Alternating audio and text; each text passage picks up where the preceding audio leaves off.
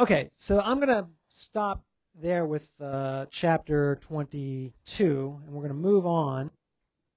Let's kind of just let's just take a look at what we've seen so far over the past chapter.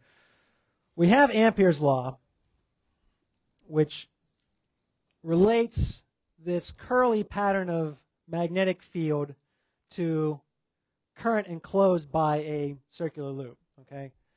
We also have had Gauss's law,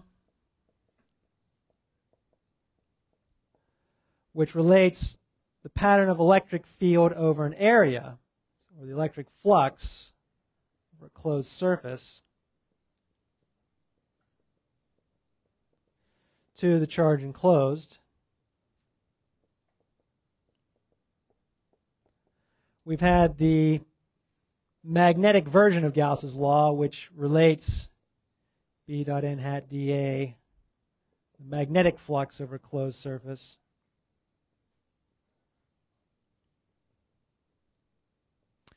To, well, since there aren't any magnetic monopoles, then we said the net magnetic flux over closed surface should be zero. And so we have three relationships here, two of which have to do with area. One has to do with um, a path integral over a, over a length. And uh, the area ones have electric and magnetic fields, and this one just has magnetic fields. So by symmetry, we might think that there's got to be a relationship of E dot dl over a closed path, a closed loop. And in fact, we've seen that before, right? We talked about, about this a little bit last time. If you're doing the path integral of the electric field, you are finding what? Potential difference, right? And if you, we said that if you take the round trip potential difference over a closed loop, you should get what? Should get zero. Well, this is true for cases where the electric field is created by static charges. Okay? Now, you might say, well, what else is there? What else can create electric fields? Well, we're actually going to see today that there is another way to generate an electric field, or, or another way you can put it is a different type of electric field that's not associated with charges, but actually associated with changes in magnetic fields. And that re- relationship is going to be called Faraday's law, but I just want to introduce this here with a little demo. Uh, here, this is a coil of wire. Okay, it's just copper wire wound around, wound around uh, 3,400 times, and I'm going to plug this copper wire into a galvanometer. Now, a galvanometer is just basically a voltmeter, or you can use it. You can use it as a voltmeter or an ammeter. It's just going to detect if there is a current running through the uh, the coil, and right now it's reading zero. Okay, meaning there's no current. Uh, if it current flows in one direction, the needle will deflect one way. If it flows the other direction, the needle will deflect the other. Okay, so it's just measuring a current through here. And let me project this on the screen here. See if we can all see this. And let me rearrange this here.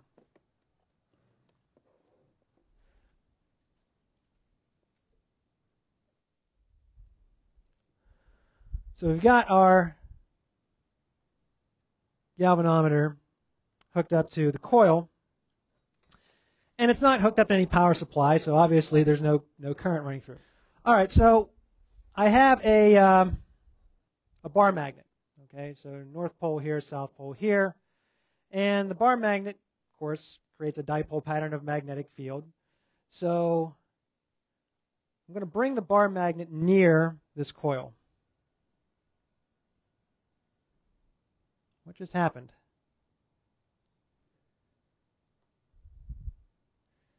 So just move this out of the way for a second. All I'm doing is moving a bar magnet near this coil. And then I'll just sit it here. And it looks like when if it's just sitting here, nothing's happening. I move it away, at least for some time, what happened to the coil?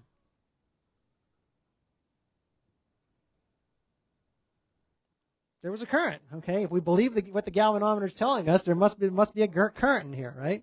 The needle is deflecting, measuring a slight current throughout these 3,400 turns of copper wire. Now, there's something interesting going on here. We have a magnetic field, right? And a magnetic field is being produced everywhere in space, including at the location of the coil. So here's the this is the North Pole. This is the North Pole.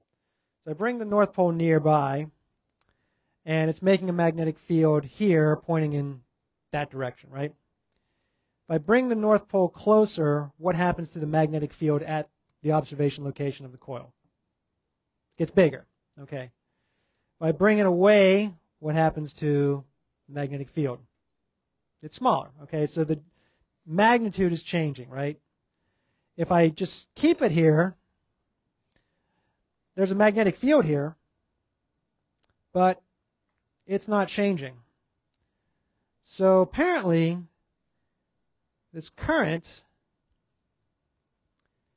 has something to do with a changing magnetic field. And if I flip the direction, if I move the North Pole closer, you can see the needle deflect in one direction, and it deflects in the other when I move it farther away. And then if I change the direction of the field by make, moving the South Pole cl- uh, uh, closer, you see the deflection is exactly the opposite. So here's moving the North Pole closer, North Pole farther away, South Pole closer, South Pole farther away. So there's something here having to do with the a changing magnetic field. And it's producing a current, and if there's a current in the in the wire, meaning the charges are moving in the wire, what do we have to have in the wire?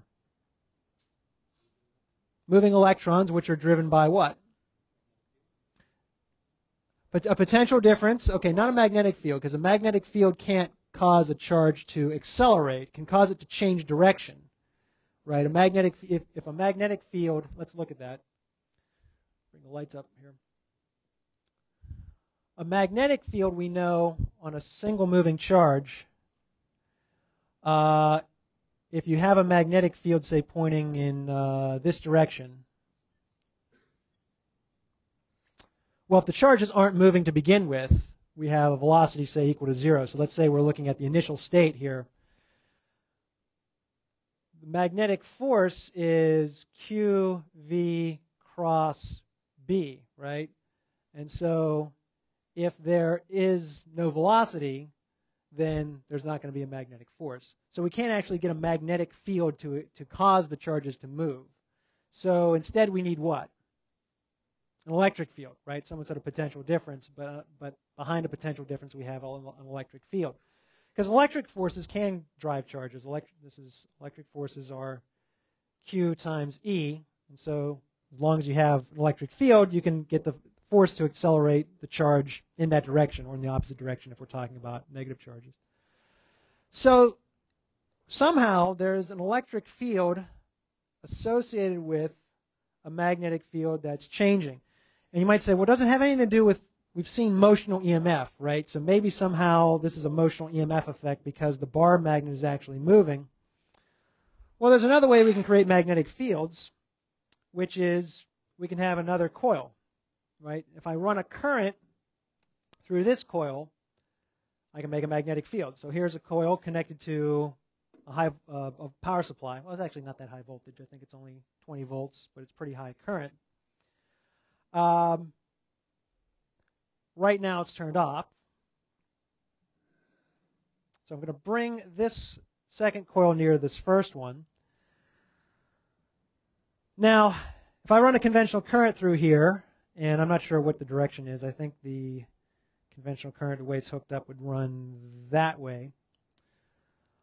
Uh, this also is going to create a magnetic field, right? So if, if the conventional current's running that way, it should make a magnetic field pointing in that direction uh, at this observation location, the observation location of the original coil.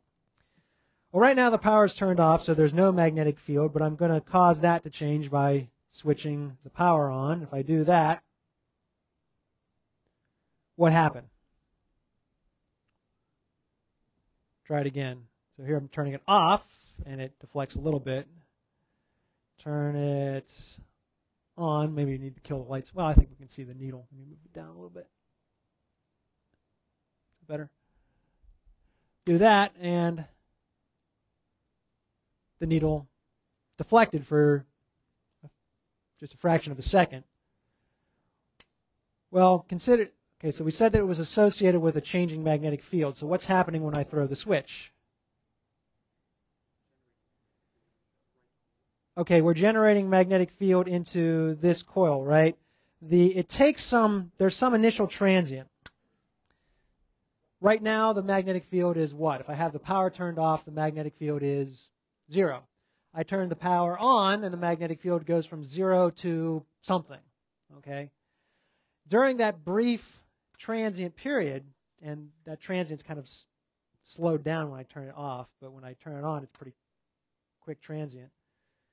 During that brief transient period, the magnetic field created by this this coil, the, the one on the left on uh, the left side, well, my left, your right.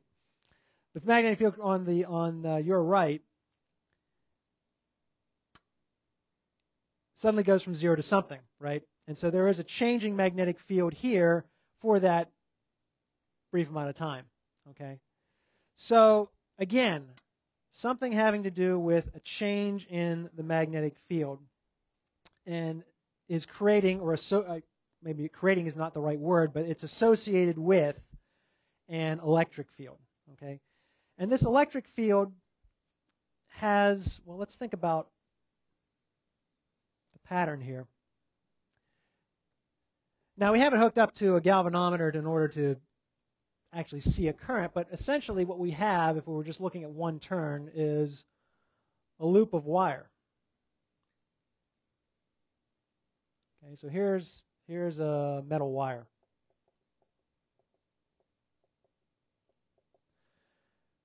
And during this brief time, in both of these cases, either with the bar magnet or with the power supply, during this brief time there was a changing magnetic field. We saw a conventional current. Now, let's say conventional current is going that way around the loop.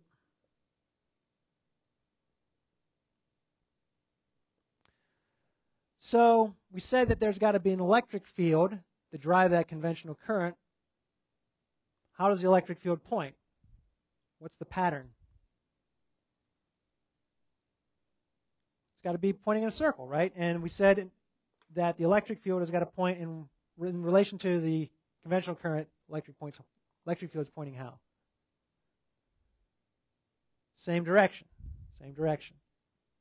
So there's got to be an electric field in this metal wire that is in this sort of curly pattern.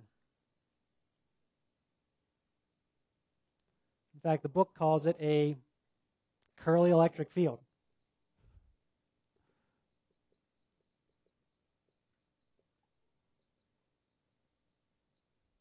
To distinguish it from the electric field fields we've been dealing with before, the previous cases we've been looking at electric fields that have been created by charges. Electric fields created by charges can't have this pattern because the round trip potential difference we said has got to be equal to zero. But in this case, if we choose a path integral going around this circular path, we're going to get a non-zero E dot dl, right? Because every single piece of that path, that E dot dl part, uh, dot product is going to give us some, some non-zero contribution or some positive contribution if we're going in the uh, counterclockwise direction, just like we did with uh, Ampere's law. So it turns out this isn't equal to zero anymore, and sometimes this is called labeled ENC, meaning it's a non-Coulomb electric field.